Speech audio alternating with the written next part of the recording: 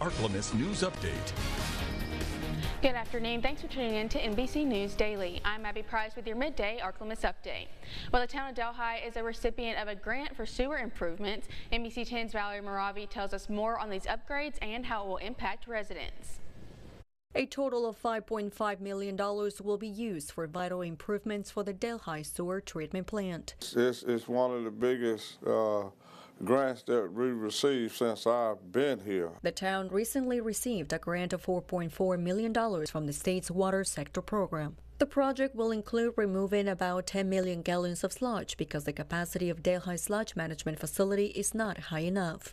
Couldn't get it through the system in time, uh, time in a timely manner with the small belt press that we uh, have. Town's engineer Glenn Turner says this project will give Delhi more capacity to treat sludge and dewater the sludge with the addition of the larger bell press and to additional capacity to compost the sludge. And then they have a big backlog of sludge at the treatment plant. And this will, the, this much needed grant funding will allow Delhi to uh, dredge a lagoon out and dewater that sludge and then land apply it on area farms. Other upgrades will include installing backup generators at five of the town's major sewer lift stations that would benefit Delhi residents and local businesses. With an extended power outage, sometimes the, the lift there's no place for the wastewater to go, so this will allow the lift stations to run during the ice storm and during the hurricane. The matching funds for this project will be 26%. Washington says this portion comes from state funds received in 2021. Unfortunate,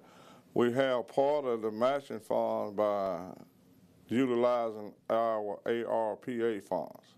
Delhi's wastewater treatment also serves Hydro Extrusions and the Lamb Weston sweet potato processing plant. The project is expected to begin this summer and be completed within a year. Reporting in Delhi, I'm Valerie Moravi for your ArkLaMiss News Source. Well, the Orleans Parish Registrar of Voters is proving the naysayers wrong and showing proof of the certifications process when counting recall signatures. There were some familiar names that you wouldn't expect to see. More than 67,000 signatures were collected for the recall, but only about 27,000 were registered voters in Orleans Parish. And some names like Cinderella, Shrek, and Mickey and Minnie Mouse were thrown out. The registrar says a lot of those characters' names were possibly written by the same person.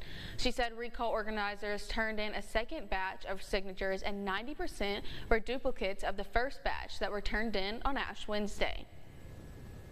We've counted the records, we received the records, we verified the records, we certified the records, and we are quite sure that what we've done is proper and uh, in keeping with the law. Records, okay say they are upset with the way the petitions were handled. They are now saying they turned in around 100,000, not 67,000 the registrar said was in the first batch. They are now questioning if they were even counted.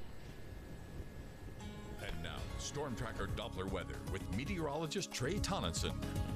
Instability already in full swing out to our west-northwest, and as this system rolls down through the south and east, it will provoke severe risk for not only Arkansas, Louisiana, and parts of the south, but specifically the ArkLaMiss, and a large chance for severe weather, a 4 out of 5 risk for a large area in our viewing area, and the rest in a 3 out of 5 risk in just a moment.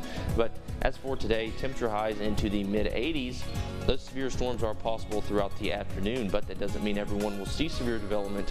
In fact, not everyone will see thunderstorms guaranteed as they'll be scattered in nature and really popcorned across the region. As we take a look at that severe outlook, like I mentioned, level 4 out of 5 moderate risk for parts of our area, and then the rest in this orange shade, a level 3 out of 5 enhanced risk regardless. You should be weather aware throughout the day, regardless of if you live in Louisiana, Arkansas, or even Mississippi, as severe weather development is possible all across the region. And should some of these storms fire up, the atmosphere is very conducive to pretty quick storm building and storm intensification. On into your weekend, we clear out cloud-wise and also cool off temperature-wise back into more seasonable averages into next week. We start a period of clouds sticking around throughout next week. Temperatures cooler into the 70s throughout next week before we finally warm up next Thursday with another frontal passage looking possible. Well, that's it for your midday update. Have a great day. NBC News Daily continues.